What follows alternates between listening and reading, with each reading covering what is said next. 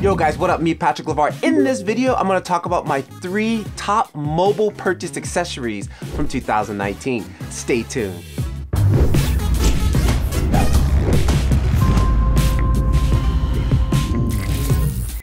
Yo, welcome back. It's me, Patrick LeVar. If you are new to my channel, I predominantly film with mobile cell phones. I love mobile photography and I shoot a lot with mobile gimbals. So if you're into that, you might want to hit that like button or subscribe button. Enough of the jibber jabber. Actually, this year was a good year for 2019 for filming with mobile phones. So many gimbals came out, so much te new technology.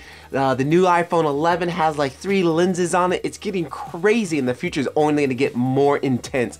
But 2019, for me personally, I'm gonna tell you about the three things that I purchased that really helped me a lot on, in my filmmaking journey, uh, journey this year. And the first one was going to be Filmic Pro.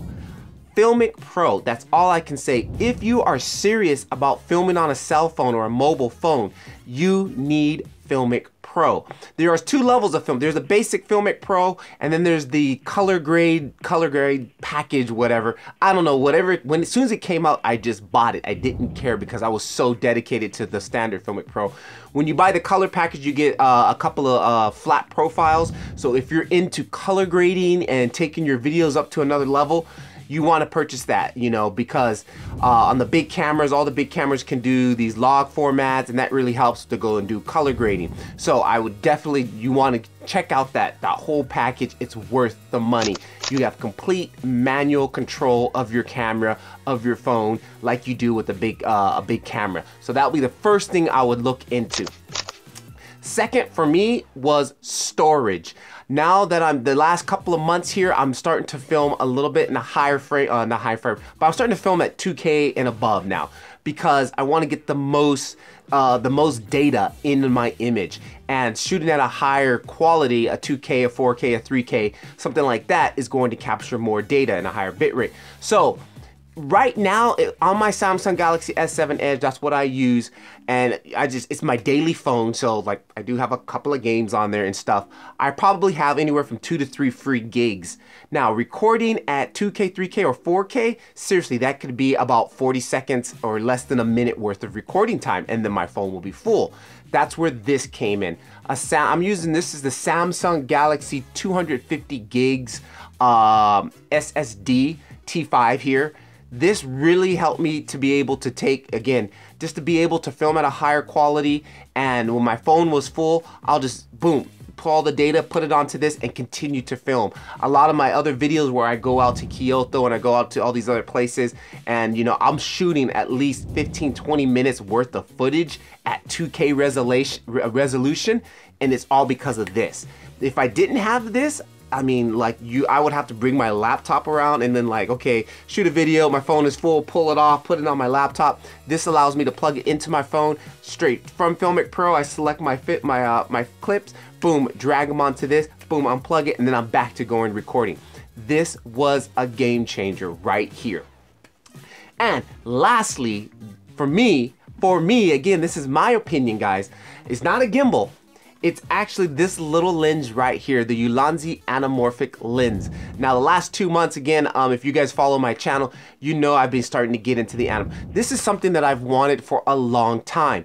Moment had theirs way before this came out, but with Moment, you have to have like almost the newest type of phone because all their cases were for newer phones. I have a Samsung Galaxy S7 Edge they didn't make a case for. They made it for a case for the Samsung 8 and above and all these new phones. And then all these new phones have multiple lenses and I'm just like, you know what? I was so sad. All right, prime example, I'm filming at 2K right now and right in the middle of that, it, it was full. I'm gonna slap this bad boy in there, pull off this footage, and get right back to recording. This is how we do it, mobile filmmaking, baby. okay, enough with the rant. You guys saw the whole hard drive thing.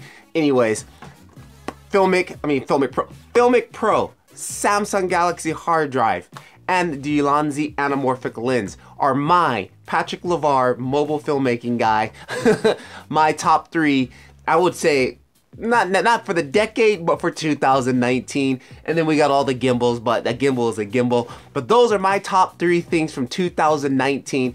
If you guys like what you see here, you're into mobile filmmaking, smash the like button, share the video to somebody who might like it.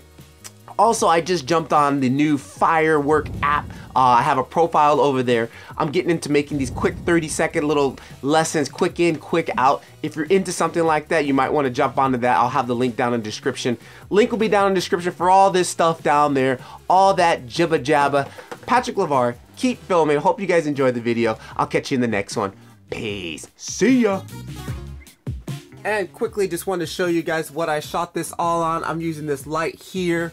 It is that company light.